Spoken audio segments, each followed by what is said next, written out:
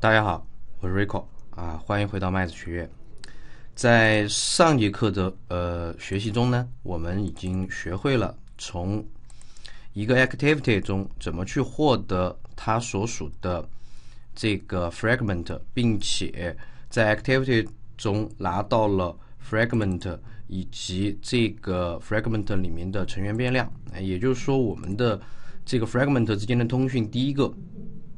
Activity 访问 fragment 我们搞定了，那么今天我们来讲第二个。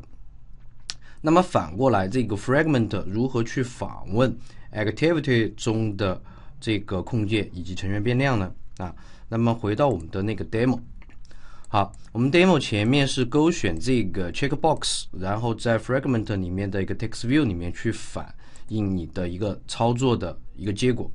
那现在我换一下。在这个 fragment 里面有一个这个 check，呃，有一个这个 button，这个 button 按钮，我点的时候，我想判断这个 activity 的这个 checkbox 是否选中还是不选中，所以这个就是反过来 fragment 去访问 an activity。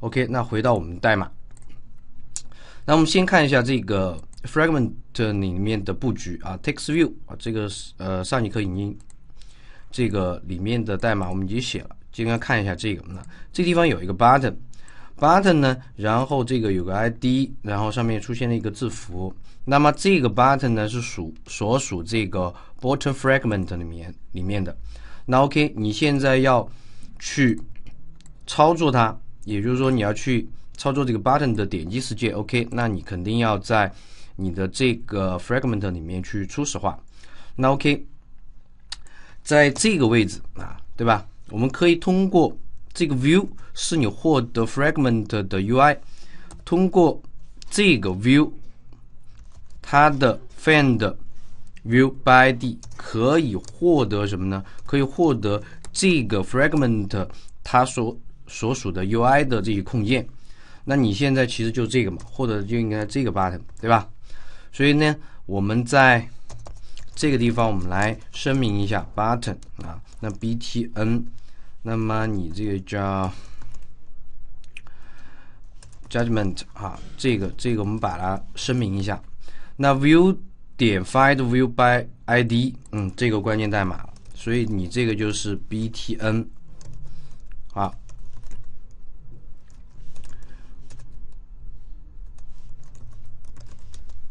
等于 view 点，好，好，我们把这个报导一下哈，OK，所以这句代码是什么呢？这个这句代码就是如何在一个 fragment 中去获取它的一个 UI 控件啊？如何在一个 fragment 中去获得你的一个 UI 控件？这个写法好，OK，那相明这相当于这一句话就跟我们在 activity 中是啊类似的。OK，你有了这个 button 这个对象，那接着就是对它的一个啊操作啊点击操作的时间绑定。那么可以在这个 btn 这里面直接 set on click listener，但是呢，我把这个事件不写在 on 框。On create view 中，那因为 on create view 中是加载这个 fragment 的视图啊，那你想一下，现在最好的一个写法是什么呢？我不会写在这儿，我应该写在这个方法里面啊，我应该写在哪个方法呢？我写在这个，好，我写在这个地方面。On activity created 啊，那么为什么我要写在这儿呢？因为你想一下。这个你点击这个是这个 button 的时候，其实你是要保证这个 fragment 里面的这个 button UI 控件和 activity 中的这个 checkbox 控件都初始化都 OK 了。那么这个方法呢，是在 fragment 和 activity 啊都创建好了以后，嗯，以后的调用，那么你在这儿里面写啊更好一些。所以我在绑定的这个点击世界，我写在这儿。Sit on click listener 啊，然后好，这是一个点击事件监听。好，我们把这个包导上。好，也就是说，在这个地方，我点了这个 button，我要去判断你这勾没勾。那你要判断它勾没勾，说白了，是不是你首先得拿到这个 checkbox？所以这个就是在 fragment 里面如何去访问 activity，它它所附着的 activity 的空间，这怎么去获得的呢？对吧？那么我们知道，在 fragment 里面都可以通过 get activity 获得。activity 的引用，然后呢，我们再去找这个 find view by ID。那么这个我们可以通过这个方法来找到那个 checkbox。这个我们在前一个例子里面，其实我们已经碰到过。好，chk married 等于它。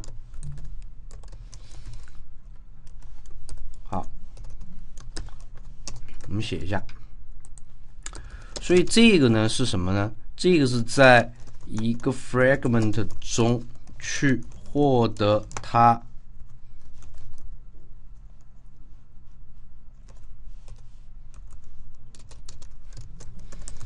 附着的这个 activity 空间的写法，对吧？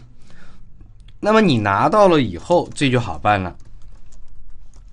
如果这个 checked married 它不等于空，然后你来判断一下这个空间的选中状态，对吧？可以获得它的选中状态。好，如果它不等于空，好，好，这个因为是在里面的，所以你要去写这个 final。那我们想一下，我看写在。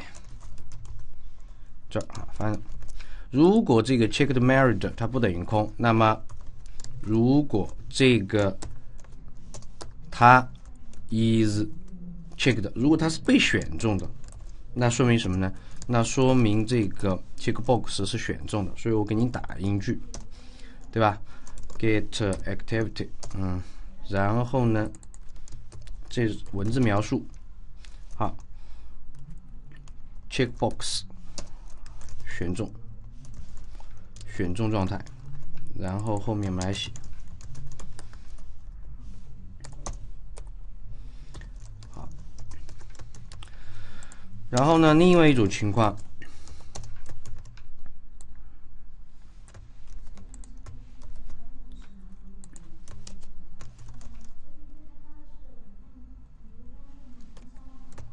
啊，未选中啊，那我们来看一下这个。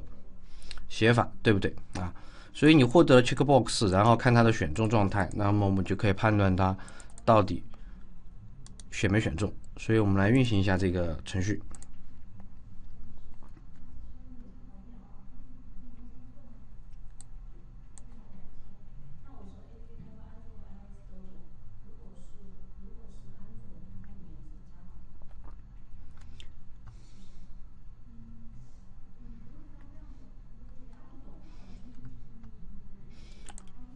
哎，这儿报错，报错，我们肯定有地方有问题。我们来看一下这个报错是什么意思。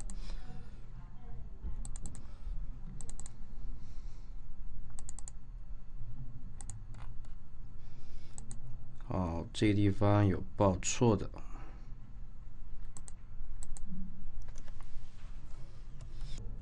好，大家看一下这个 Android Runtime 的一个错误啊，然后这儿也没有打印具体的信息。那这个根据你要根据平时的一个经验判断，像这种啊，我们来看一下，因为我们今天的代码只动了这两个地方，对吧？我们只动了这个 onCreateView 和 onActivityCreate 这两个方法。那 OK，你要想一下这个是哪个地方错呢？那么像这种这个方法，它是要去初始化 onActivity。好。好，我知道错了什么地方。刚才我们在重写 on activity create 的方法，它本身有一个父类的方法是 super，对吧？super 这个调的父类的这个 on create activity，呃，onActivity create 的方法，我把这个代码删掉，那这个就错了，因为你重写这个方法，但是父类父类这个方法还要保留，为什么呢？因为这个方法里面父类在做很多初始化的东西，你把这个删掉了以后，就造成了你这个 Activity 这个程序的启动就错了，所以这个复类这个方法应该是保留啊。根据我的经验判断，应该是这样，这个地方初始化一个 View 控件，这个是应该是没什么问题的。OK，我们再试一下。好，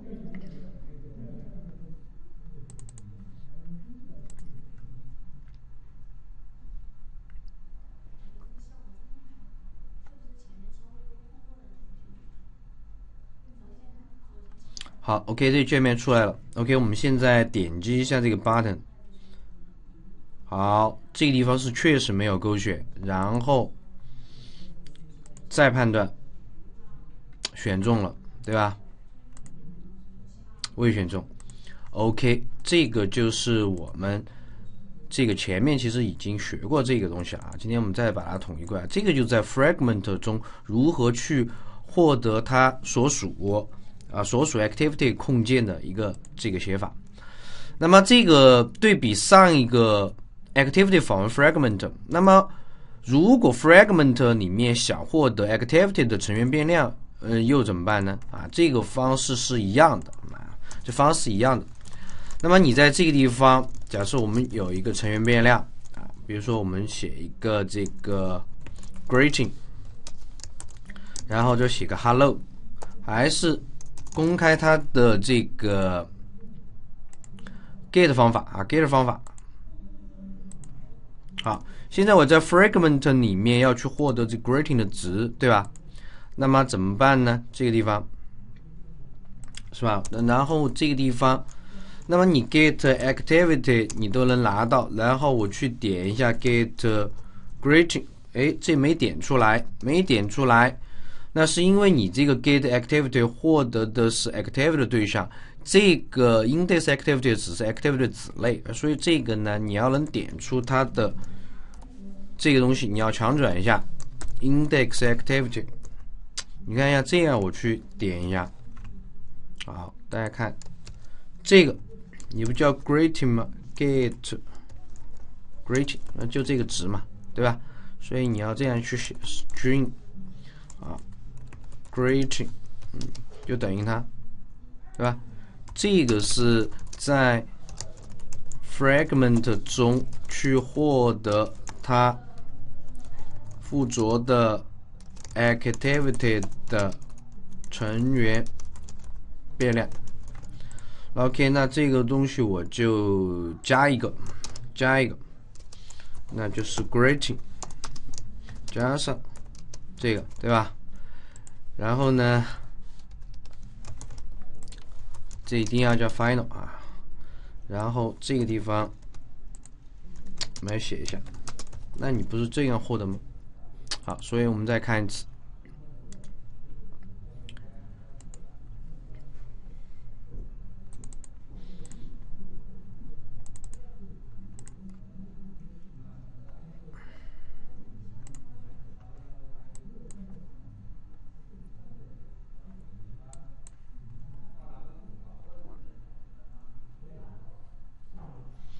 好，先勾一下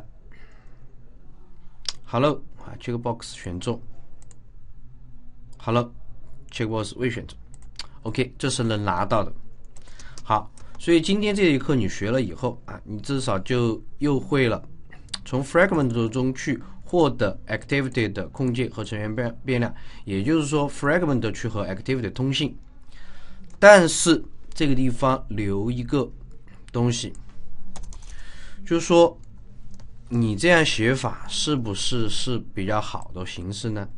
这个我可以告诉你，你这个 fragment 现在是能这样去访问 activity，但是实际的时候不会这么写，这不是一种好的方式。我可以先回答你，啊，这不是一种好的方式，让 fragment 和 activity 通信，嗯，这种你是知道这可以这么去编码，但这不是一种好的方式。那为什么它不是一种好的方式？